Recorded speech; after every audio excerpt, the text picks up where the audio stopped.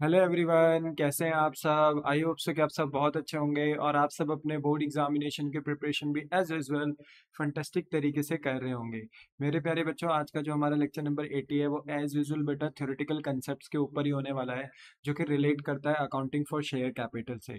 बीते बेटा दो लेक्चर्स में हमने ऑलरेडी बेटा कुछ बातें अपनी थ्योरेटिकल कंसेप्ट में डिस्कस कर ली थी बट आज का जो हमारा लेक्चर है, वो भी एज यूजल डिस्कशन के ऊपर ही है, जहाँ पर हम अपना थ्योरेटिकल नॉलेज गेन करेंगे। करेंगे relating to accounting for share capital आज का जो बेटा हमारा चर्चा है, वो स्टार्ट होगा difference between reserve capital and capital reserve से और आगे जो जो टॉपिक्स आएँगे, हम उनको क्लियर करते चले जाएँगे।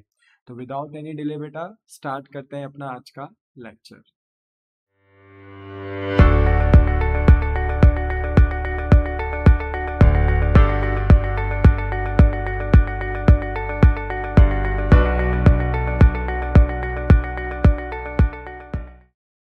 ना एवरीवन बेटा, आज का जो हमारा पॉइंट है, जो स्टार्ट हो रहा है, वो है सेवन पॉइंट जो कि difference between reserve capital and capital reserve बेटा बोर्ड एग्ज़ाम्स में यहाँ से क्वेश्चन आने के चांसेस हैं, वो एमसीक्यू भी आपसे पूछ सकता है, इसलिए आपको reserve capital and capital reserve का डिफरेंस पता होना चाहिए, ठीक है?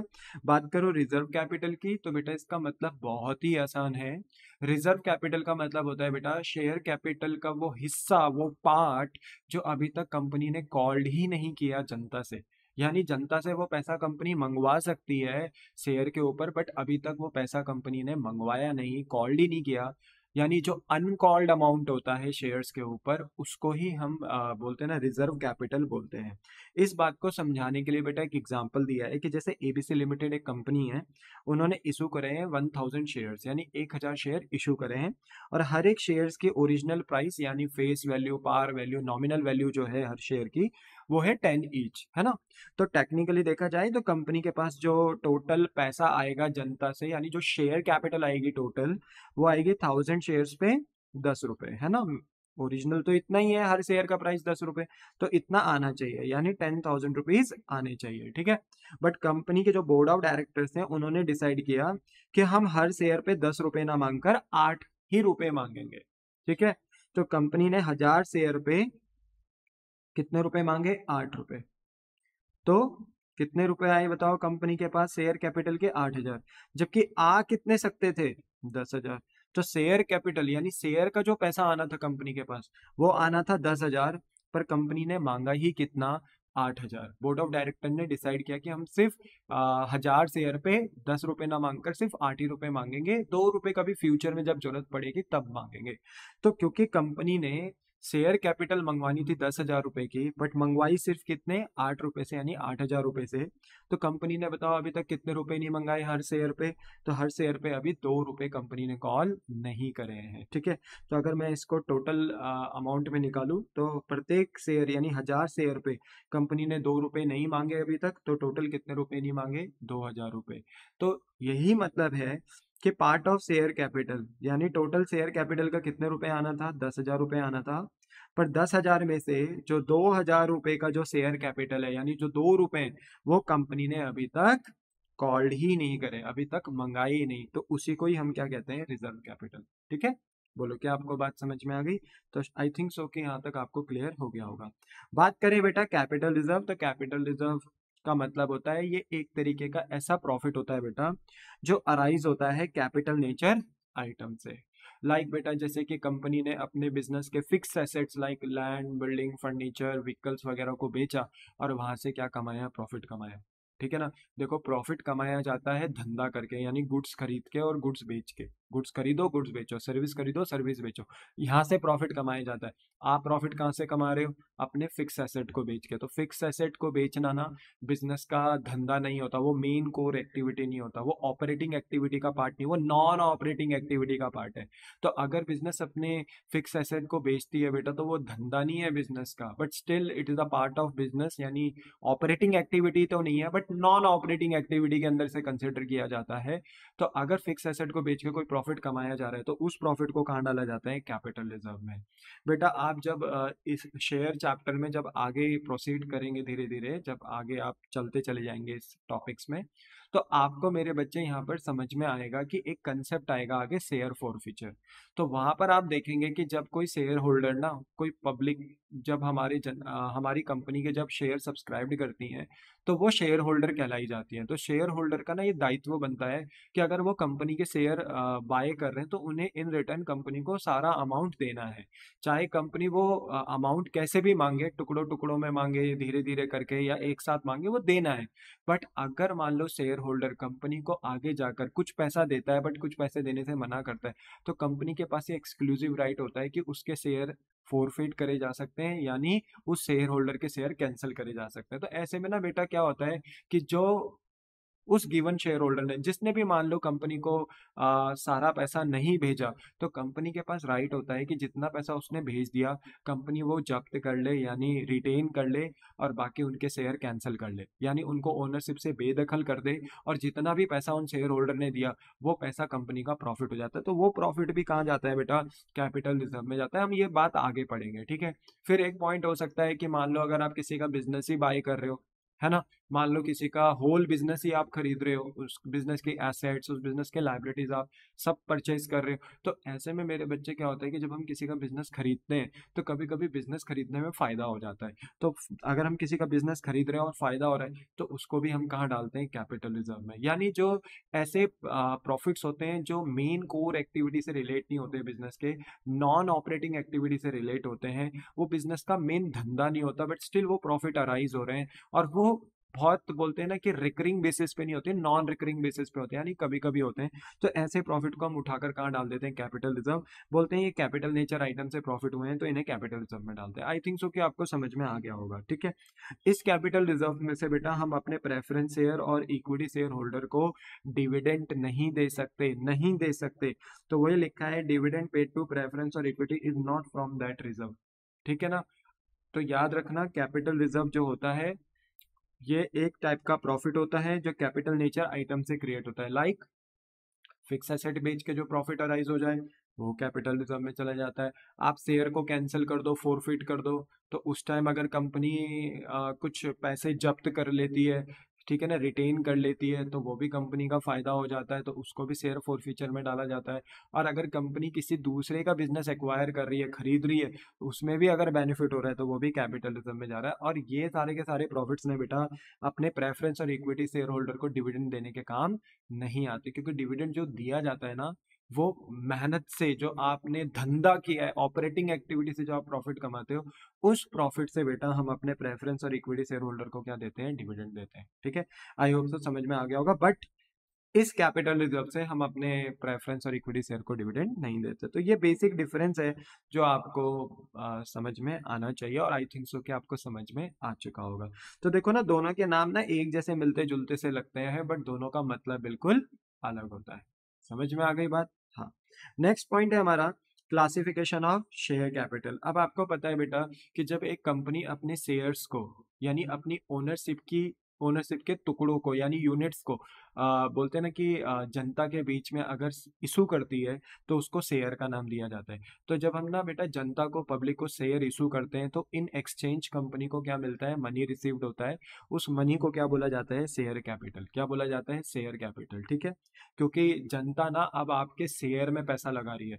तो जनता भी कंपनी के अंदर क्या बन जाती है? ओनर। तो ऐसे में उसको शेयर कैपिटल बोला जाता है। अब शेयर कैपिटल के बेटा कुछ क्लासिफिकेशन होते हैं, यानी कुछ टाइप्स होते हैं। जैसे शेयर कैपिटल के अंदर सबसे पहले आता है ऑथराइज शेयर कैपिटल ये मैंने आपसे पहले भी बेटा डिस्कस कर लिया था। ये एक maximum amount of share capital होती है, जो कंपनी जनता के बीच में इशू कर सकती है और फिर बदले में उतना अमाउंट रिसीव कर सकती है। मैक्सिमम लिमिट होती है, ठीक है? तो यहाँ लिखा हुआ है कि it is an maximum amount of capital stated in memorandum of association है मेमोरेंडम ऑफ़ एसोसिएशन में लिखा रहता है कि कंपनी जनता के बीच में, पब्लिक के बीच में कितने रुपए के शेयर इशू मैक्सिमम कर सकती है, ठीक है? Which company can called from the public जिसे पब्लिक से क्या किया जा सकता है? कॉल्ड फॉर एग्ज़ाम्पल कंपनी ने दस हज़ार शेयर मेमोरेंडम ऑफ़ एसोसिएशन में स्टेटेड कर रखे थे कि इतने शेयर हम मैक्सिमम जनता के बीच में इशू कर सकते हैं। हर शेयर हमारा कितने रुपए का होगा? दस रुपए का। तो ये दस रुपए का जो हर एक शेयर है, हर एक शेयर कितने रुपए का है? दस रुपए का। सौ रुपए का भी हो सकता है पचास रुपए का भी हो सकता है पर अभी एग्ज़ाम्पल में मैंने कितने का ले लिया? दस रुपए का। इसको कहते हैं face value par value nominal value original value ठीक है? अब thousand ten thousand into ten करोगे तो कितने रुपए का टोटल शेयर कैपिटल निकल कर आता है? वन लाख तो ये बोलते हैं ना ऑथराइज शेयर कैपिटल होता है। इसको क्या बोलते हैं? ऑथराइज इतना मैक्सिमम आप जनता से मंगा सकते हो तो ये कैपिंग होती है। अगर ये कैपिंग ना करी जाए ना बेटा तो कंपनी अपनी मर्ज़ी से जितना मनमाना पैसा हो, जनता से मंगा सकती है। और फिर ऐसा हो सकता है कि कंपनी के जो बोर्ड ऑफ़ डायरेक्टर्स हो या जो कंपनी के मैनेजमेंट हो, वो इतना सीरियस ना हो, क्योंकि उनके जो खुद के प्रमोटर्स हैं, खुद के जो उनके अपने इनिशियल ओनर्स थे जब जिन्होंने कंपनी को स्टार्ट किया था, उनका पैसा कम लगा हुआ है, पर जनता का पैसा ज़्यादा लगा हुआ। तो ऐसे में मेरे बच्चे सीरियसनेस कंपनी के अंदर कम हो सकती है। इसलिए इस चीज़ से बचने के लिए यहाँ पर ना कैपिटल में कैपिंग करी गई है, जिसको ऑथराइज शेयर कैपिटल बोला जाता है, कि इससे ज़्यादा आप जनता से पैसा रेस इस अमाउंट से ज़्यादा आप जनता से पैसा रेस नहीं कर सकते, ठीक है? बोलो, इतना समझ में आ गया? हाँ।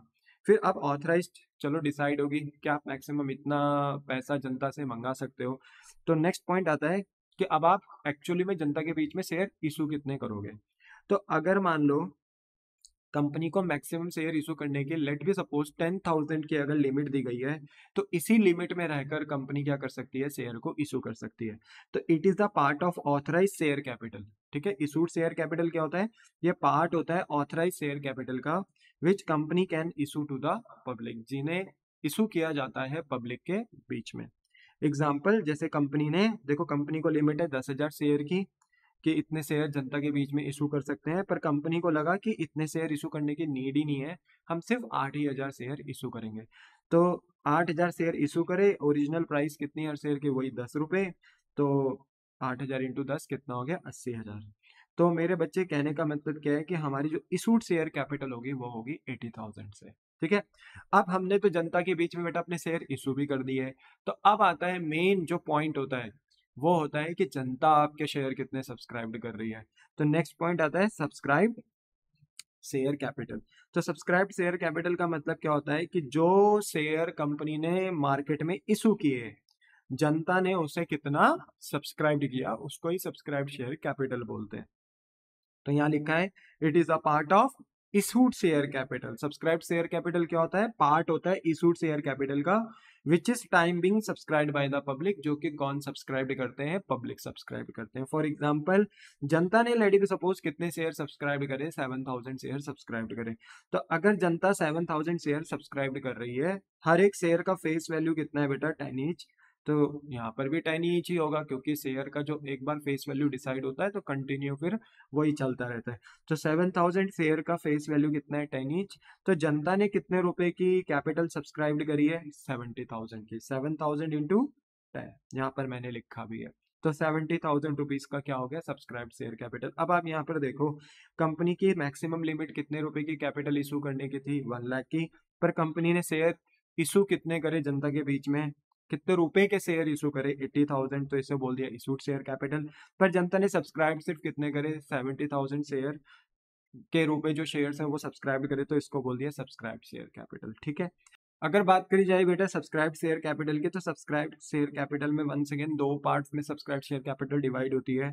एक होता है subscribe and fully paid up और एक होता है subscribe but not fully paid up देखो subscribe and fully paid up बेटा वहाँ पर कहलाया जाता है, जहाँ पर बेटा जनता ने जितने शेयर पब्लिक ने जितने शेयर सब्सक्राइब करे है ना, उतने ही शेयर पे सारा पैसा उन्होंने कंपनी को भेज भी दिया है। मतलब जितना शेयर का पैसा बनता है, अगर जनता सारा का सारा पैसा वो कंपनी को दे देती है that is known as subscribed कि जनता ने शेयर सब्सक्राइब करे एंड फुली पेडअप के साथ उन्होंने सारा का सारा पैसा कंपनी को दे भी दिया। But subscribe but not fully paid up बेटा, वहाँ अप्लाई होता है जहाँ जनता शेयर सब्सक्राइब तो करती है, पर उन शेयर के ऊपर सारा का सारा अमाउंट कंपनी को भेजती नहीं है। चाहे उसके पीछे रीजन कुछ भी हो, चाहे कंपनी ने ही क्यों ना अभी कम कॉल किया हो, जैसे अभी हमने रिज़र्व कैपिटल में देखा था, हर एक शेयर दस रुपए का था बट कंपनी ने कितने रुपए मांगे? सिर्फ़ आठ तो दो रुपए नहीं मांगे तो वो रिज़र्व कैपिटल बना। तो जैसे अगर कंपनी ने ही दस रुपए के बदले अगर आठ ही रुपए मांगे तो दो रुपए अभी नहीं मांगे शेयर पे तो जनता ने भेजे भी नहीं होंगे। तो उसका मतलब है subscribe but not fully paid कि जनता ने सब्सक्राइब करा बट अभी तक सारे पैसे भेजे नहीं। या मान लो जनता के बीच में से ही कोई शेयर होल्डर है ना पब्लिक के बीच में से ही कोई शेयर होल्डर ऐसा निकल आए जो कंपनी को आ, आगे जाकर पैसा ना दे। लाइक आगे हम पढ़ेंगे कॉल इन एरियर तो वहाँ पर हम देखेंगे कि कुछ शेयर होल्डर ऐसे होते हैं बेटा जो कुछ पैसा तो देते हैं बट कुछ पैसा नहीं देते हैं कॉल इन एरियर हो जाता है। तो अगर जनता में से अगर कोई शेयर होल्डर है पब्लिक के बीच में अगर कोई ऐसी कोई ऐसा शेयर होल्डर है जो कंपनी को सारा पैसा नहीं भेज रहा है तो उस सिनारियों में भी subscribe but not fully paid up हो जाएगा। तो कंपनी कम मांग रही है?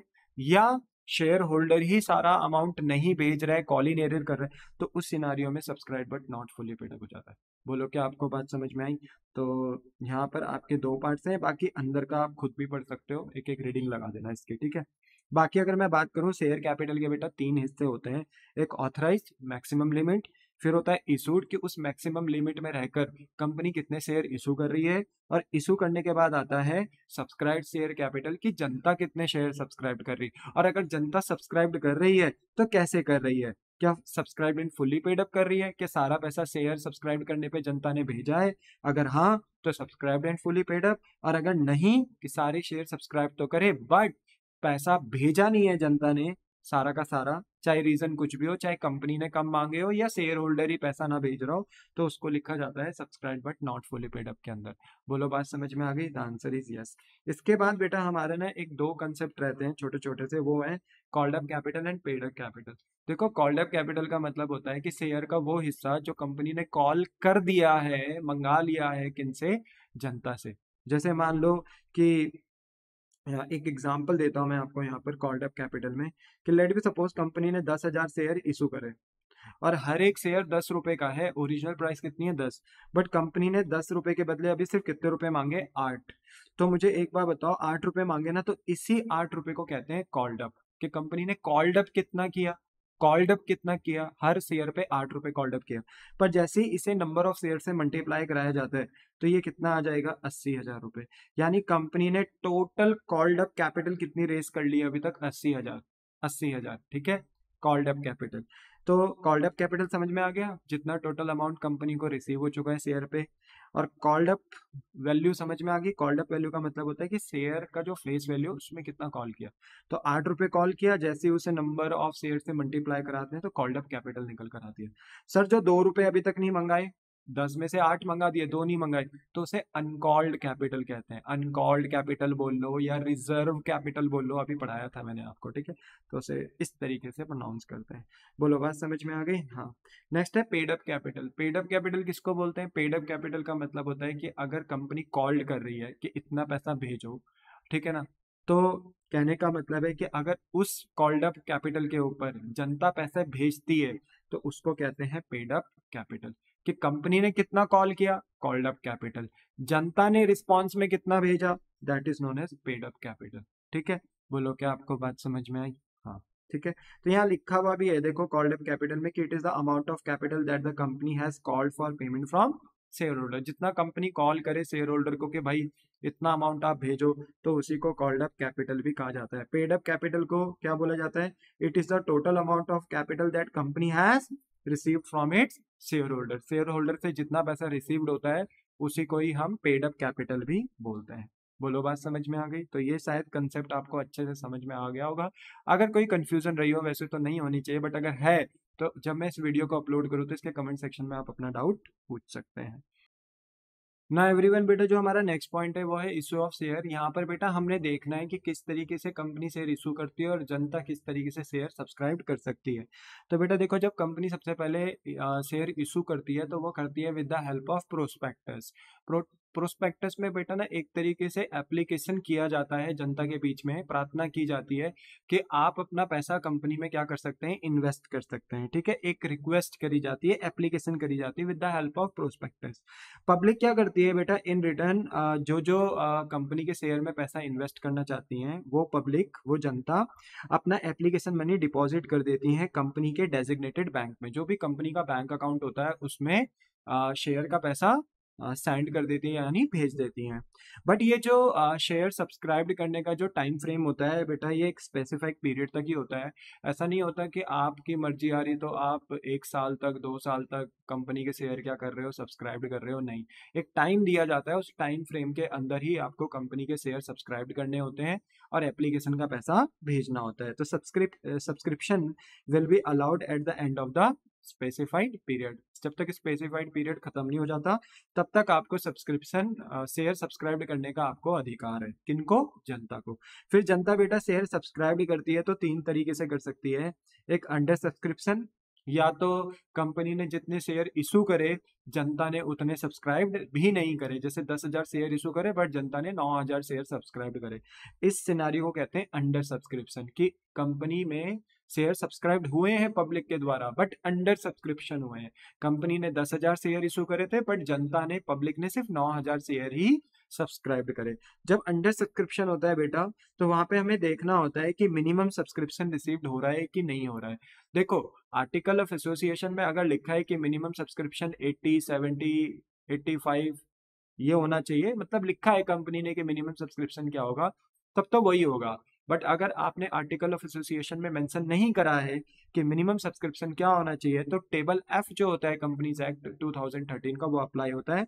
और टेबल एफ़ में लिखा है कि अगर आर्टिकल ऑफ़ एसोसिएशन में मिनिमम सब्सक्रिप्शन स्पेसिफाई नहीं है तो फिर मिनिमम सब्सक्रिप्शन बाय डिफ़ॉल्ट कितना हो जाता है? नाइन्टी तो यहाँ पर यह देखना होता है कि मिनिमम सब्सक्रिप्शन नाइन्टी हुआ है कि नहीं हुआ है। अगर आर्टिकल ऑफ़ एसोसिएशन में नहीं लिखा है कि मिनिमम सब्सक्रिप्शन क्या होगा तो बाय डिफ़ॉल्ट नाइन्टी परसेंट होता है। तो हमें चेक करना होता है नाइन्टी परसेंट मिनिमम सब्सक्राइब हुआ है कि नहीं? अगर आंसर है कि नहीं हुआ, अगर आंसर है कि नहीं हुआ तो जितना भी कंपनी ने एप्लीकेशन मनी रिसीव्ड किया है ना पब्लिक से, वो सारा का सारा पैसा, होल शेयर जितने जनता ने सब्सक्राइब करे, वो सब रिजेक्ट करने पड़ेंगे और सारा का सारा पैसा रिफंड करना पड़ेगा जनता को। इसमें बेटा कंपनी का नुकसान होता है। ठीक है? बट अगर मान लो अंडर सब्सक्रिप्शन 90 परसेंट तक हुआ, यानी मिनिमम सब्सक्रिप्शन टच हो गया है, यानी मिनिमम सब्सक्रिप्शन जनता ने सब्सक्राइब कर लिया आंसर है यस तो ऐसे में ना शेयर अलॉट हो जाते हैं जनता को, ठीक है? उन शेयर पे जितने पे जनता ने शेयर सब्सक्राइब करे। मतलब कंपनी उनको शेयर दे देती है। फिर कंपनी को ना उनका पैसा रिफंड करने की ज़रूरत नहीं है। तब वो एक नॉर्मल इशू मान लिया जाता है। ठीक है बोलो बात समझ में आ गई? तो जब अंडर सब्सक्रिप्शन होता है ना तो ये देखना होता है कि मिनिमम सब्सक्रिप्शन 90 परसेंट हुआ है कि नहीं हुआ है। हुआ है तो इट्स ओके okay, हम जनता को शेयर जितने उन्होंने सब्सक्राइब किए हैं दे देंगे। बट अगर नहीं हुआ है तो ऐसे में मेरे बच्चे हमें उनके शेयर लौटाने पड़ेंगे उनका सारा पैसा वापस करना पड़ेगा जिसमें कंपनी को नुकसान हो जाता है बेटा। बोलो बात समझ में आ गई? हाँ। नेक्स्ट है, अगर फुल्ली सब्सक्राइब हुआ है कंपनी ने लेट भी सपोज़ दस हज़ार शेयर इशू करे और जनता ने भी सब्सक्राइब कितने करे दस हज़ार तो दैट इज़ नोन एज के शेयर फुल्ली अलॉट कर देंगे पब्लिक को। जितना कम जनता ने मांगा है, उतना शेयर उन्हें दे देंगे क्योंकि जनता ने सारे शेयर सब्सक्राइब कर दिए। तो कंपनी ने दस हज़ार शेयर इशू करे, जनता ने दस हज़ार सब्सक्राइब करे तो जितने सब्सक्राइब कर रहे हैं, उतने ही शेयर हम उन्हें अलॉट कर देंगे। बात खत्म। बट अगर ओवर सब्सक्राइब हो जाए। तो ओवर सब्सक्राइब में क्या होता है कि कंपनी ने तो दस हज़ार शेयर इशू करे बेटा, डेट भी सपोज़, ठीक है? पर जनता ने कितने शेयर सब्सक्राइब कर दिए? ट्वेल्व थाउज़ेंड शेयर ना सब्सक्राइब कर दिए। तो उस सिनारियो में ना देखो, कंपनी के पास ना देने के लिए सिर्फ़ दस ही हज़ार शेयर है। मे बी कंपनी बहुत ज़्यादा पॉपुलर होगी बेटा मार्केट में तो इसलिए जनता ने ज़्यादा शेयर सब्सक्राइब कर लिए पर कंपनी के पास देने के लिए तो है ही कितने? दस हज़ार शेयर। तो यहाँ पर ना मेरे बच्चे प्रोराटा बेसिस पे ना एडजस्टमेंट करी जाती है एक्सेस शेयर की। बताओ एक्सेस शेयर कितने आए कंपनी के पास? दो हज़ार शेयर है ना? 2000 शेयर पे ज़्यादा पब्लिक ने सब्सक्राइब कर दिया। तो कंपनी ना इस प्रॉब्लम को तीन तरीके से सॉल्व कर सकती है। या तो फुल्ली एडजस्ट कर दिया जाए। फुल्ली एडजस्ट का मतलब होता है कि जिन शेयर होल्डर्स ने 2000 शेयर पे एक्सेस भेजा है तो यहाँ पर ना बेटा पब्लिक को यानी जनता शेयर होल्डर को बोला जाता है कि देखो हम शेयर तो दस ही हज़ार दे सकते हैं, बारह नहीं दे सकते हैं, क्योंकि इशू ही कितने करें हमने? दस करे। बट आपने जितने ज़्यादा शेयर पे हमें पैसा भेजा है, एक्सेस भेजा है, जितने एक्सेस शेयर पे, कितने एक्सेस थे? दो हज़ार। तो उतने शेयर पे जो पैसा आपने हमें ज़्यादा भेजा है ना, उतना ही पैसा हम आगे जब कभी पैसा मंगाएँगे शेयर पे तो हम उतना कम मंगा देंगे आपसे। हम आगे देखेंगे बेटा कि शेयर को ना, हम दो, शेयर के पैसे को दो तरीके से मंगा सकते हैं। एक लमसम और एक इंस्टॉलमेंट। लमसम में क्या होता है, सारा पैसा एक साथ आता है, पर इंस्टॉलमेंट में ना पैसा टुकड़ों टुकड़ों में आता है। उन टुकड़ों के नाम होते हैं हम आगे पढ़ेंगे जैसे application allotment first call second call ऐसे टुकड़ों के नाम होते हैं। तो अगर मान लीजिए कि एप्लीकेशन में जनता ने ज़्यादा शेयर पे पैसे भेज दिए तो जितने ज़्यादा पे जैसे मेरा जो केस था अभी उसमें 2000 शेयर पे जनता ने ज़्यादा पैसे भेजे तो उतना ही पैसा हम बेटा फिर जब आगे अलॉटमेंट या फ़र्स्ट कॉल मांगेंगे तो उतना ही पैसा हम आगे की कॉल्स में कम आ, उनसे कॉल कर लेंगे यानी कम पैसा मांगेंगे। तो कहने का मतलब है कि जितना एक्सेस पैसा आया है उसे या तो हम एडजस्ट करेंगे, या तो हम उसे रिजेक्ट कर देंगे। रिजेक्ट का मतलब है जितना एक्सेस शेयर पे पैसा आया है, दो हज़ार शेयर पे एक्सेस पैसा आया होगा, वो उनको वापस कर दो, घर भेज दो, कह दो हम आपको शेयर ही नहीं दे सकते, घर भेज दो उन्हें, ठीक है फुली रिजेक्ट या कुछों को एडजस्ट कर दो, कुछों को बोल दो कि भाई तुमने अगर एक्सेस भेजा है तो हम तुम्हारा पैसा आगे की कॉल्स में एडजस्ट करेंगे, या कुछों को बोल दो कि हम रिजेक्ट करेंगे। तो पहले केस में सबको बोल दिया कि जित, जितनों ने एक्सेस भेजा है, सबका पैसा आगे एडजस्ट होगा दूसरों को बोला, दूसरे केस में बोला कि भाई जितनों ने एक्सेस भेजा है, उन सबको पैसा क्या कर रहे हैं? वापस कर रहे हैं। ठीक है रिजेक्ट कर रहे हैं। आप अपने घर जाइए। जितने भी एक्सेस शेयर पे शेयर सब्सक्राइब हुए हैं। और कुछों को, तीसरे केस में कुछों को हम एडजस्ट कर रहे हैं और कुछों को हम रिजेक्ट कर रहे हैं। तो ये तीन सिनारियो होते हैं जहाँ से हम ओवर सब्सक्रिप्शन की प्रॉब्लम को ओवर सब्सक्राइब की प्रॉब्लम को सॉल्व कर सकते हैं। ये हम सब आगे पढ़ेंगे बेटा। बस आपको एक पॉइंट मुझे यहाँ पर ओवरव्यू देना था तो मैंने यहाँ पर आपको ओवरव्यू दे दिया, ठीक है? नेक्स्ट पॉइंट है कि जब कंपनी अपने शेयर इशू करती है और जनता सब्सक्राइब कर कर कंपनी को पैसा भेजती है तो उसको बोलते हैं, बेटा शेयर कैपिटल तो शेयर कैपिटल को बैलेंस शीट में शो कैसे किया जाता है? तो सबसे पहले देखो बेटा, हम कंपनी का नाम लिखते हैं। फिर अगर आप लिखना चाहो तो आप लिख सकते हो schedule third part first of companies act 2013 क्योंकि बेटा जो कंपनी की बैलेंस शीट होती है ना, वो शेड्यूल थर्ड के according as per part first में बनाई जाती है। तो कंपनी का जो शेड्यूल थर्ड है ना, वो जनरली फॉर्मेट्स का होता है। तो बैलेंस शीट का जो फॉर्मेट है, वो कंपनीज़ एक्ट 2013 में शेड्यूल थर्ड में दिया है और पार्ट वन के अंदर मेंशन कर रखा है। तो आप चाहें तो ये लिख दो, इसे लिखने से बोलते हैं ना कि एक इम्प्रेशन क्रिएट होता है बेटा, समझ में आता है कि आप पढ़कर आए हो, ठीक है? तो schedule third part of part first of companies act 2013 लिख सकते हो। उसके बाद आपने लिखना है बैलेंस शीट एज ऑन जो डेट लिखी होगी वो डेट आप यहाँ लिखेंगे। और बगल में लिखेंगे एक्सट्रैक्ट एक्सट्रैक्ट का मतलब होता है कि यहाँ पर ना हम पूरी कंपनी की बैलेंस शीट नहीं बना रहे हम यहाँ पर कंपनी का ना बोलते हैं बैलेंस शीट का एक टुकड़ा बना रहे हैं बस, ठीक है? अच्छा मैं आपको बता दूँ बेटा क्लास इलेवेंथ हो या क्लास ट्वेल्थ में पार्टनरशिप हो, आपने दोनों ही सिनारियों में बेटा बैलेंस शीट ना होरिजेंटल फॉर्म में बनाई थी, यानी लाइबिलिटी और एसेट आमने सामने आमने सामने, इस तरीके से बनाई थी, ठीक है? पर जब हम कंपनी की बैलेंस शीट बनाते हैं तो कंपनीज़ का अपना एक प्रॉपर एक्ट है और इस एक्ट के अंदर मेंशन किया है कि बैलेंस शीट कैसे बनानी है। तो यहाँ पर ना हम बैलेंस शीट होरिजेंटल वे में नहीं बनाते कंपनीज़ के अंदर। हम बेटा कंपनीज़ के अंदर बैलेंस शीट वर्टिकल शेप में बनाते हैं, ठीक है? वर्टिकल। पहले हम लिखते हैं बेटा लाइबिलिटीज और फिर हम लिखते हैं अपने एसेट्स। बात तो वही है बस होरिजेंटल वे में ना बनाकर वर्टिकल फॉर्म में हम यहाँ पर अपनी बैलेंस शीट बनाते हैं।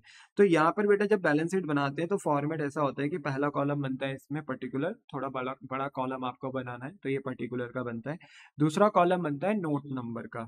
नोट नंबर का मतलब होता है बेसिकली बेटा जो आइटम्स आप लाइबिलिटीज और एसेट्स के लिख रहे हैं तो कभी कभी ना बेटा किसी लाइबिलिटी के आइटम्स में या एसेट्स के आइटम में हमें एक्सप्लेनेशन देना होता है। ठीक है? तो उस एक्सप्लेनेशन को हम नोट्स टू अकाउंट्स यानी नोट नंबर में देते हैं। तो वैसे आपके सिलेबस में नोट नंबर नहीं है, सिर्फ़ एक ही का है जो नोट्स टू अकाउंट्स आपको बनाना है शेयर कैपिटल का। बाकी और का नहीं बनाना है तो आपके सिलेबस में सिर्फ़ शेयर कैपिटल का ही नोट्स टू अकाउंट है। आपको क्या करना होगा शेयर कैपिटल को एक्सप्लेन करना होगा अलग से तो वो कहाँ करा जाता है? नोट नंबर में, ठीक है? तो नोट नंबर यहाँ वन लिखा जाता है और जब बैलेंस शीट खत्म होती है तो नोट्स टू अकाउंट बनाकर शेयर कैपिटल को एक्सप्लेन भी किया जाता है, ठीक है? तो यहाँ पर सबसे पहले बेटा देखो पर्टिकुलर, फिर नोट नंबर और फिर आता है अमाउंट का कॉलम। सबसे पहले बेटा रोमन नंबर में हम लिखते हैं फ़र्स्ट और यहाँ पर लिखते हैं इक्विटी एंड लाइबिलिटीज। इक्विटी का मतलब होता है इंटरनल फंड्स, यानी जो मालिकों का पैसा होता है, उसको इक्विटी बोला जाता है। ठीक है इंटरनल फंड्स इंटरनल लाइबिलिटीज भी आप इसे बोलते हो। एंड यहाँ पे लाइबिलिटीज का मतलब है एंड लाइबिलिटीज का मतलब है यहाँ पर एक्सटर्नल लाइबिलिटी तो एक तरफ़ है इंटरनल लाइबिलिटी जो ओनर्स का फंड होता है, उसे इंटरनल लाइबिलिटी कहते हैं और जो एक्सटर्नल लाइबिलिटीज है, उसको यहाँ लाइबिलिटीज बोलते हैं। तो नाम आ जाता है इक्विटी एंड लाइबिलिटीज इसमें सबसे पहले देखो, हम सबसे पहले कौन सी लाइबिलिटी मेंशन करते हैं पॉइंट नंबर वन में? सबसे पहले हम करते हैं ओनर की लाइबिलिटी यानी इंटरनल लाइबिलिटी ओनर फंड को मेंशन करते हैं। ओनर फंड को यहाँ पर लिखा जाता है शेयर होल्डर फंड क्या लिखा जाता है? शेयर होल्डर फंड और शेयर होल्डर फंड के ना दो पार्ट्स होते हैं बेटा ए और बी जिसे लिखा जाता है share capital and reserve and share reserve and surplus पर क्योंकि हमें शेयर कैपिटल का एक्सप्लेनेशन देना होता है तो नोट नंबर में हम वन डालते हैं। और बस बेटा यहाँ पर अगर हमारी बैलेंस शीट खत्म हो जाती है, हालाँकि इसके बाद non current liability current liability आती है, फिर एसेट्स के अंदर non current asset current assets आते हैं। बट अभी हमें वो सब एक्सप्लेन नहीं करना है, क्योंकि हमें बैलेंस शीट सिर्फ़ बनानी है किसके कंटेक्स में? शेयर कैपिटल के कंटेक्स में बनानी है। तो हमें ना बस इतना पार्ट एक्सप्लेन करना है, ठीक है? तो इसलिए जब हमने बैलेंस शीट बनाई थी तो क्या लिख दिया था? एक्सट्रैक्ट क्या लिख दिया था? एक्सट्रैक्ट तो शेयर कैपिटल के आगे हम लिख रहे हैं बेटा नोट नंबर वन और अपने नोट्स टू अकाउंट्स को, यानी जो नोट नंबर वन है, वो किसका है? शेयर कैपिटल का, उसको एक्सप्लेन करेंगे। ये आपको एग्ज़ाम में एज इट इज़ करने हैं, जैसे मैं समझा रहा हूँ आपको, ठीक है? तो शेयर कैपिटल के जब हम नोट्स टू अकाउंट्स बनाते हैं तो आपको फॉर्मेट बनाना है particular and amount and every one यहाँ नोट्स टू अकाउंट्स मत बना देना, क्यों यहाँ नोट नंबर मत लिख देना दोबारा, क्योंकि ये खुद नोट्स टू अकाउंट्स है तो यहाँ नोट नंबर थोड़ी लिखोगे, ठीक है? नोट नंबर हम कहाँ लिखते हैं? बैलेंस शीट में। और हम नोट नंबर वन यानी शेयर कैपिटल को एक्सप्लेन कर रहे हैं तो फॉर्मेट है पर्टिकुलर एंड अमाउंट ठीक है? अब यहाँ पर सबसे पहले हम मेंशन करते हैं पॉइंट नंबर वन में ऑथराइज शेयर कैपिटल सबसे पहले हम किसको मेंशन करते हैं? ऑथराइज शेयर कैपिटल को. तो लेट बी सपोज़ कि कंपनी ने कितने शेयर इशू कितने शेयर इशू करने की पावर है कंपनी के पास? Maximum let be suppose it will be ten let be suppose it will be ten thousand एक नंबर के साथ मैंने समझाने की कोशिश करी है बेटा. तो ten thousand into at the rate rupees ten each मान लो शेयर का ओरिजिनल प्राइस भी कितना है? टेन तो टेन इंच लिख दिया। टेन थाउज़ेंड इंटू टेन कितना हो गया? वन लाख हो गया, ठीक है? इसके बाद आता है issued share capital issued share capital का मतलब क्या होता है? कि कंपनी कितने शेयर इशूड कर रही है। मान लो कि कंपनी के पास पावर शेयर इशू करने की तो दस हज़ार शेयर की थी, पर कंपनी ने अपनी पावर का इस्तेमाल कर कर सिर्फ़ कितने शेयर इशू करे? आठ हज़ार शेयर तो आठ हज़ार शेयर इंटू टेन इंच हर एक शेयर दस रुपए का है तो फेस वैल्यू के साथ लिखा जाता है टेन इंच ठीक है तो ये आ गया एट्टी थाउज़ेंड अब एक बात ध्यान रखना बेटा, अगर कंपनी ने, अगर लेट बी सपोज़ दस में से सिर्फ़ आठ ही मांगे तो यहाँ पे आप आगे लिख देंगे रुपीज़ एट कॉल्ड अप ठीक है? रुपीज़ एट कॉल्ड अप सात रुपए मांगे तो फिर रुपीज़ सेवन कॉल्ड अप अगर नाइन रुपीज़ मांगे तो नाइन कॉल्ड अप पर अगर सारे ही मांगे ना तो फिर लिखने की ज़रूरत नहीं है, ठीक है? क्योंकि एक हर एक शेयर कितने का है? दस का और कंपनी दस ही मांग रही है। तो फिर आगे लिखने की ज़रूरत नहीं है कि रुपीज़ टेन कॉल्ड अप ठीक है? कॉल्ड अप का मतलब क्या होता है? मंगाना। तो जब हम शेयर इशू करते हैं, तभी तो मंगाते हैं ना? तो आप लिख भी सकते हो, पर लिखने की ज़रूरत नहीं है। आपको कॉल्ड अप तभी लिखना है आगे कॉमा करके, जब कंपनी दस रुपए ना मंगा के दस से कम मंगा रही होगी। बोलो बात समझ में आ गई? Eight thousand share at the rate rupees ten each तो मल्टीप्लाई करा एटी थाउज़ेंड। बस एक बात ध्यान रखना बेटा, ये जो ऑथराइज शेयर का अमाउंट आया टेन थाउज़ेंड शेयर पे टेन ईच करके, यानी मल्टीप्लाई करके, इसको डबल लाइन से क्लोज कर देना है, क्योंकि ये सिर्फ़ प्रेजेंटेशन के तौर पर काम आते हैं। ये अमाउंट आपका ना शेयर कैपिटल में नहीं जाता है, ठीक है? तो ये डबल लाइन से क्लोज हो जाएगा। वैसे इशूड शेयर भी डबल लाइन से क्रॉस हो जाएगा और क्लोज हो जाएगा। थर्ड पॉइंट में अगर हम आए तो थर्ड पॉइंट होता है मेन जो कि होता है सब्सक्राइब शेयर कैपिटल और मैंने अभी अभी बताया था कि सब्सक्राइब शेयर कैपिटल के दो पार्ट होते हैं। एक है subscribe and fully paid up और एक है subscribe but not fully paid up मान लो जनता आठ हज़ार शेयर सब्सक्राइब कर रही है और पूरे के पूरे दस रुपए दे रही है जितना कंपनी ने मांगा तो that is known as subscribe and fully paid up आठ हज़ार इंटू दस करेंगे और अस्सी हज़ार आ जाएगा। और आपको पता है, यही अस्सी हज़ार, यही अस्सी हज़ार फिर टोटल में आ जाएगा। ठीक है? और यही अस्सी हज़ार कहाँ चला जाएगा फिर शेयर कैपिटल में? क्योंकि जनता जितना सब्सक्राइब करती है ना वही अमाउंट शेयर कैपिटल में जाता है। ठीक है? पर कभी कभी ऐसा हो सकता है कि जनता सारे शेयर आपके आ, बोलते ना सॉरी सारा पैसा आपको ना भेजे subscribe and fully paid up ना हो तो ऐसे में फिर बेटा दूसरा कंडीशन हो सकता है subscribe but not fully paid up इसलिए मैंने और लगा दिया या तो subscribe and fully paid up होगा या तो होगा subscribe but not fully paid up चलो, अगर subscribe but not fully paid up है तो लेट बी सपोज़ कि जनता को आठ हज़ार शेयर पे दस रुपए भेजना चाहिए था। लेट बी सपोज़ क्योंकि इसूडी कितने करे गए थे शेयर आठ हज़ार शेयर तो आठ हज़ार शेयर जनता ने सब्सक्राइब करे और दस रुपए इन्हें भेजने चाहिए थे, यानी अस्सी हज़ार रुपए भेजने चाहिए थे।